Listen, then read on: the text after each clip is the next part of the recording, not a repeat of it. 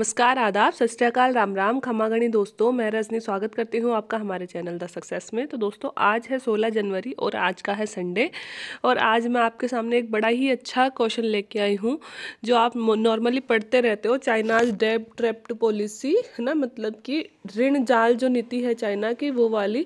तो बहुत बार हम अक्सर पढ़ते हैं और हमें पता है कि चाइना मतलब अपने जो पड़ोसी हैं या फिर जो भी कमज़ोर देश है, उनको लोन देता है और लोन दे के वो उनको फंसा लेता है। मतलब बहुत सारी प्रॉपर्टी वगैरह हथियार लेता है या फिर उनसे आंतरिक मामलों में उनके छेड़छाड़ करने लगता है। इस तरह की नीतियाँ लेकिन एग्जैक्टली अगर हमसे लिखने को पूछ लिया जाए कि डेप ट्रैप पॉलिसी क्या है तो हम इतना सा तो नहीं लिखेंगे कि ऋण देकर फंसा लेना है ना? ऋण तो और भी बहुत सारे देश देते हैं इंडिया भी देता है अमेरिका भी देता है सभी बड़े बड़े देश हैं जो देते भी हैं और ऋण लेते भी हैं है ना? फिर चाइना ही ऐसा एक आ, मतलब क्या काम करता है कि चाइना पे ही ये इल्ज़ाम लगाया जाता है कि चाइना डेब्ड ट्रैप पॉलिसी अपनाता है है ना?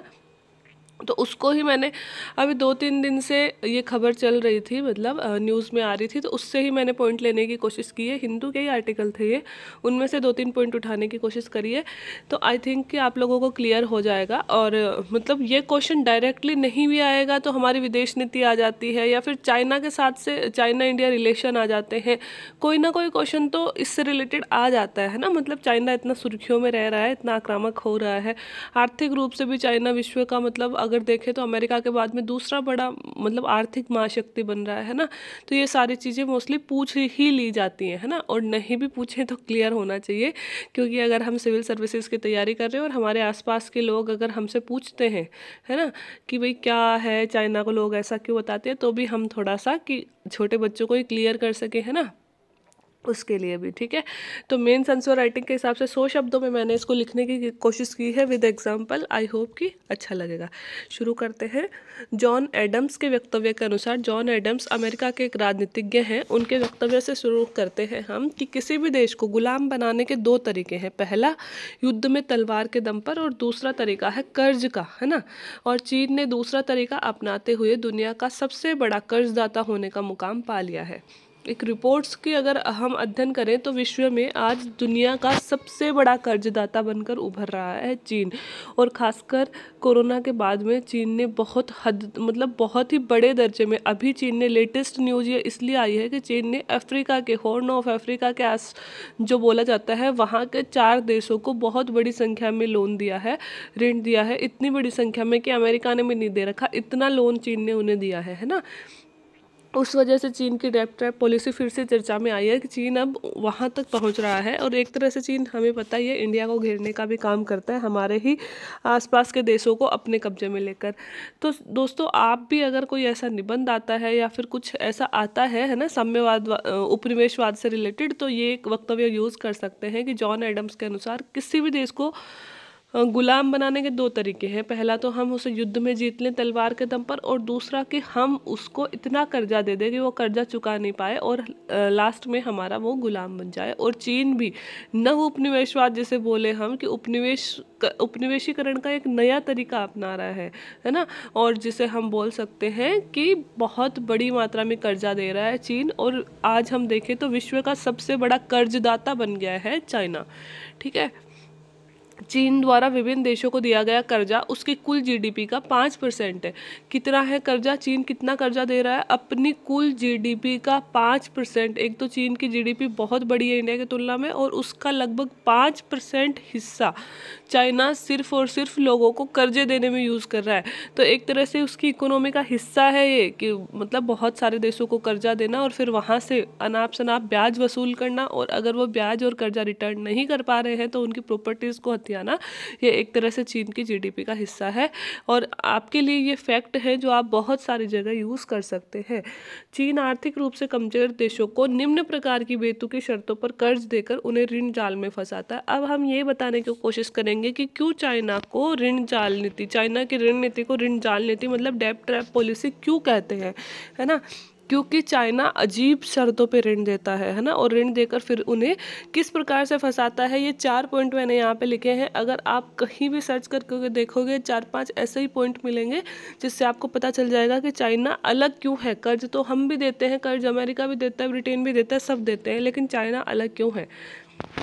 सबसे पहले तो चाइना कर्ज देने वाले, कर्ज देने संबंधी पेरिस क्लब का सदस्य नहीं बनता है। दोस्तों, विश्व में जितने भी डेवलप्ड कंट्री है ना, उन्होंने एक क्लब बना रखा है, जिसका नाम है पेरिस क्लब, है ना? पेरिस क्लब में मोस्टली मोस्टली डेवलप्ड कंट्री हैं और वो क्या करते हैं कि डेवलप हैं तो डेवलपिंग कंट्रीज़ को ऋण देते हैं, ठीक है? कि उनके विकास के लिए सहायता करते रहते हैं। जब वो किसी देश को सहायता करते हैं, किसी देश से समझौता करते हैं, किसी देश को ऋण देते हैं तो इस पेरिस क्लब के अनुसार क्या होता है कि वो अपनी ऋण ऋण की शर्तों को, कि भाई किस शर्त पे ऋण दिया है? वो पेरिस क्लब के अकॉर्डिंग सारी दुनिया के सामने रखते हैं। जिस देश को कर्ज दिया है, उसके सामने भी, और जिस देश ने कर्ज दिया है, वो भी। अपनी सरकार के सामने भी प्लस पेरिस क्लब के सदस्यों के सामने भी। मतलब इससे यह पता चला, पता चलाने की कोशिश की जाती है कि कहीं हम ऐसी ऐसी आ, वो शर्तें तो नहीं रख रहे हैं कि भाई तुम हमारा ऋण नहीं चुकाओगे इतने साल में तो तुम हमारे गुलाम बन जाओगे या फिर कोई भी ऐसी शर्त जिससे वो देश मतलब कमज़ोर हो जाए है ना? ऐसी शर्तों पे ऋण तो हम नहीं दे रहे हैं इसलिए एक पेरिस क्लब बनाया गया था और मोस्टली सभी जो बड़े राष्ट्र हैं जो इस प्रकार के ऋण देते हैं इसके सदस्य हैं लेकिन चाइना आज तक भी पेरिस क्लब का सदस्य नहीं बना। इसका मतलब क्या है? इसका मतलब ये है कि चाइना जब भी किसी देश के साथ ऋण देता है या ऋण के लिए समझौता करता है तो कभी भी अपनी शर्तें जो हैं उस देश के गवर्नमेंट के अलावा किसी के साथ भी शेयर नहीं करता। मतलब पेरिस क्लब का सदस्य नहीं है तो वह अपनी ऋण शर्तों को गोपनीय रखता है। वह नहीं बताता है कि किन शर्तों पर ऋण दिया गया है।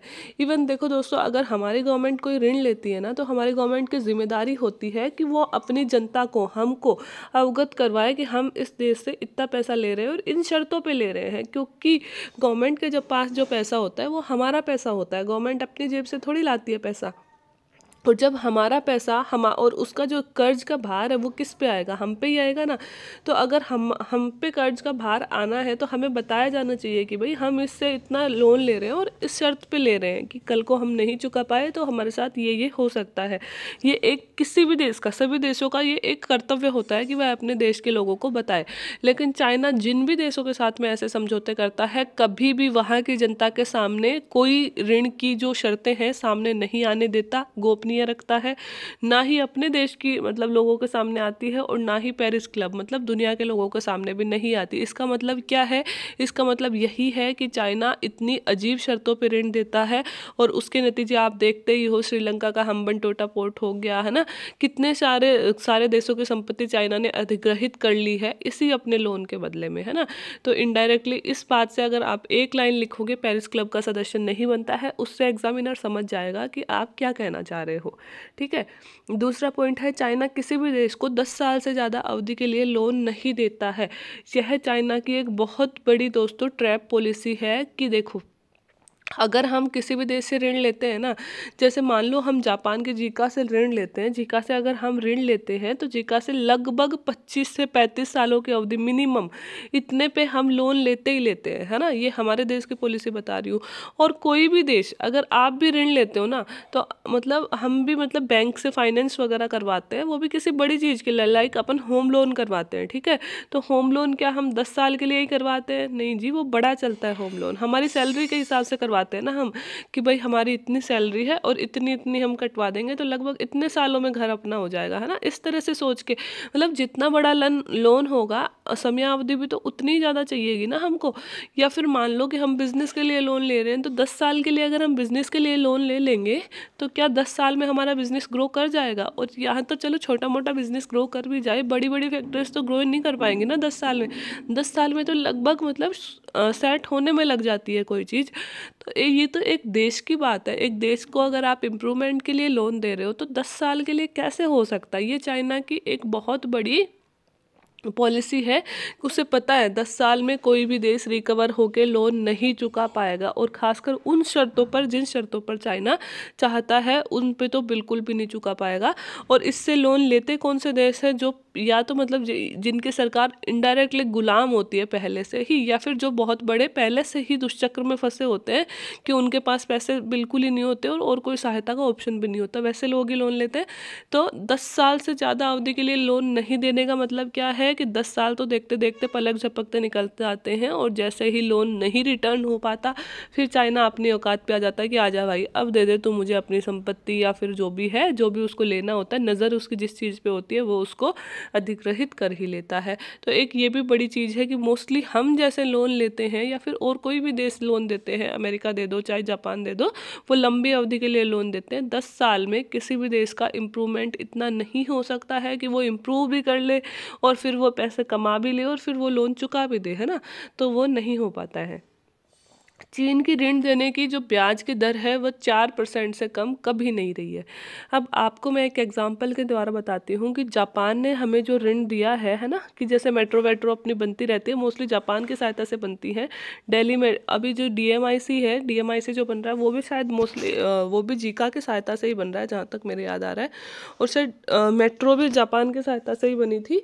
तो अगर मतलब हमने जापान से लोन लिया है तो वो 25 से 35 वर्षों के लगभग हम लेते हैं और उसकी ब्याज दर होती है एक के लगभग या फिर एक पॉइंट एक या फिर एक पॉइंट पाँच के आसपास उसकी ब्याज दर होती है तो आप मतलब ना के बराबर ब्याज दर होती है यार, ना के बराबर कि ब्याज नहीं लेंगे या फिर एक मतलब प्रतीकात्मक रूप में ब्याज दर होती है, क्योंकि अगर आप हमारी सच में हेल्प करना चाहते हो तो आपको पता है कि पैसे इकट्ठे करने में टाइम लगेगा और अगर हम इतना ब्याज ही ले रहे हैं तो फिर क्या मतलब है कि हम दुनिया की भलाई कर रहे हैं? ऐसा ही कह दो ना, हम लूटने के लिए आए हैं भाई। अगर हम जैसे पहले के ज़माने में नहीं होता था, साहूकारों से ऋण से ऋण लेने जाते थे, हमारे किसान और वो इतनी ज़्यादा ब्याज पे ऋण देते थे कि उस ऋण को तो छोड़ो, ब्याज का ब्याज भी हम चुका नहीं पाते थे, है ना? वैसी वाली हालत ही चाइना करता है। मतलब चार परसेंट ब्याज दर चार परसेंट ब्याज दर बहुत ज़्यादा हो जाती है वो भी इतने इतने पैसों पर। आपको पता है हमारे बैंक्स में आ, मतलब नॉर्मली बैंकों में हम पैसे कब जमा कराते हैं? जब हमारे पास में एक्स्ट्रा पैसे होते हैं तभी तो हम बैंकों में जाते हैं। और बैंकों में जो हमारी ब्याज दर होती है वो पाँच साढ़े पाँच के आसपास होती है जनरली तो पाँच साढ़े पाँच के आसपास हम इसलिए जाते हैं कि पाँच साढ़े पाँच हमें प्रॉफिट दिख रहा है। हम लाभ के लिए जाते हैं कि यहाँ पर इतने पैसे जमा करा देंगे तो इतनी दर से हमें लोन मिलेगा जिससे हमें फ़ायदा होगा। हमारे पैसे बढ़ेंगे। और यहाँ तो भाई साहब ये दुनिया के सामने ये बोलने की कोशिश कर रहा है कि मैं लोन दे रहा हूँ और देखो मैं इतने कम पे लोन दे रहा हूँ, ये कम नहीं है, ये लूटने का तरीका है और इससे कम पे चाइना ने आज तक किसी को लोन नहीं दिया है। तो आप इसे समझ सकते हो कि ये डेप ट्रैप है या नहीं है। ठीक है?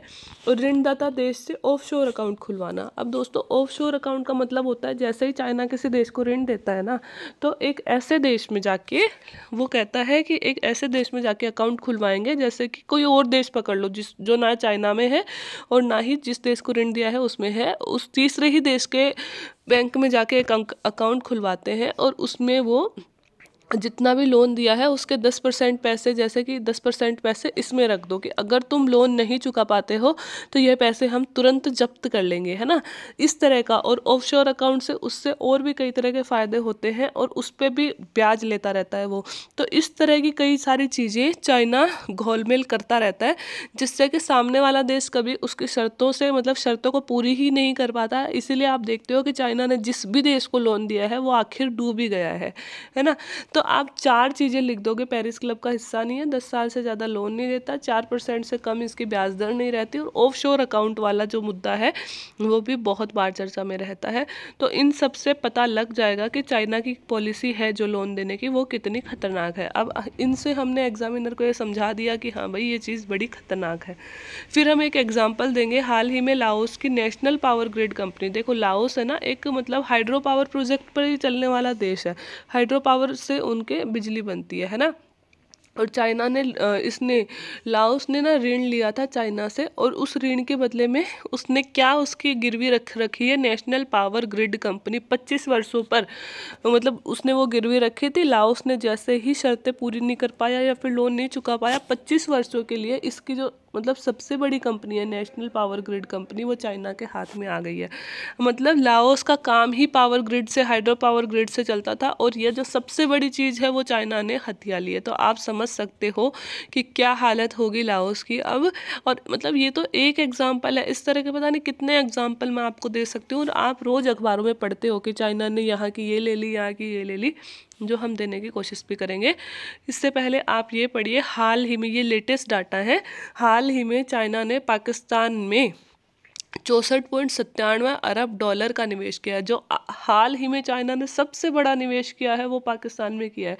पाकिस्तान को पूरी तरह से गुलाम बनाने पे टिका हुआ है। चाइना कितने का? चौंसठ पॉइंट सत्तानवे अरब डॉलर का निवेश किया है, अरब डॉलर का निवेश किया है। तो आप समझ सकते हो कितनी बड़ी राशि होगी है इंडोनेशिया में दूसरे नंबर पर इंडोनेशिया है, जहाँ पर इसने निवेश किया है पचपन पॉइंट ज़ीरो सात अरब डॉलर और तीसरे नंबर पर वियतनाम है।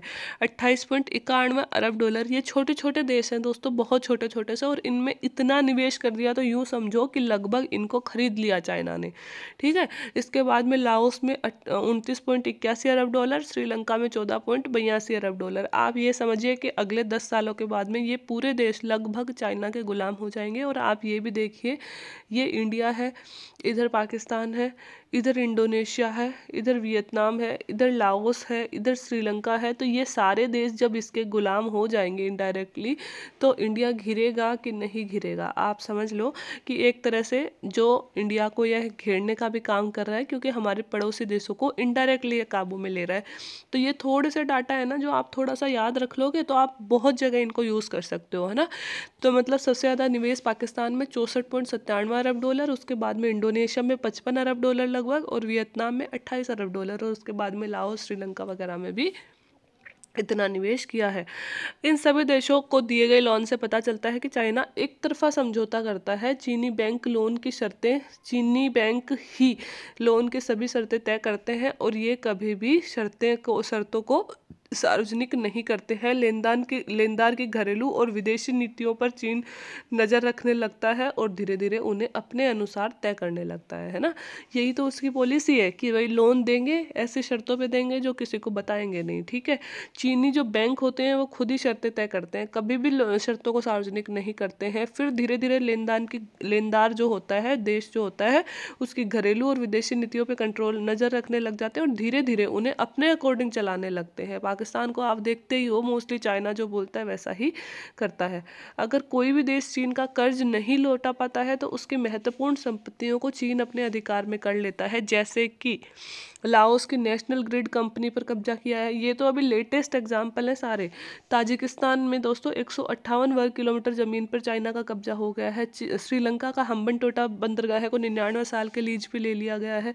और पाकिस्तान के ग्वादर पोर्ट, यहाँ मैं लिखना भूल गई थी, ग्वादर पोर्ट को भी दोस्तों चार चार दशक तक मतलब मतलब लगभग चालीस सालों तक अपने नियंत्रण में ले चुका है है ना? तो ये एग्ज़ाम्पल आपको देने पड़ेंगे जिससे एग्जामिनर को पता चले कि हाँ आपको रियल में चीन के सारा डेटास पता है है ना? तो क्या क्या करता है? अगर चीन की संपत्ति कोई नहीं लौटा पाता है मतलब चीन के पैसे कोई नहीं लौटा पाता है तो उसकी संपत्तियों को अपने अधिकार में कर लेता है। तो एग्ज़ाम्पल लेटेस्ट लाओस वाले से शुरू करोगे। लाओस की नेशनल ग्रिड कंपनी ताजिकिस्तान की भूमि हम्बन बंदरगाह, श्रीलंका का, ग्वादर पोर्ट पाकिस्तान का, है ना? इन सभी को चीन ने लगभग अपने हवाले कर लिया है। इस प्रकार की मनमानी शर्तों पर ब्याज देकर किसी भी देश को रणनीतिक रूप से अपने काबू में करना ही चीन की ड्रैप ट्रैप पॉलिसी है। डेब्ड ट्रैप पॉलिसी है ना?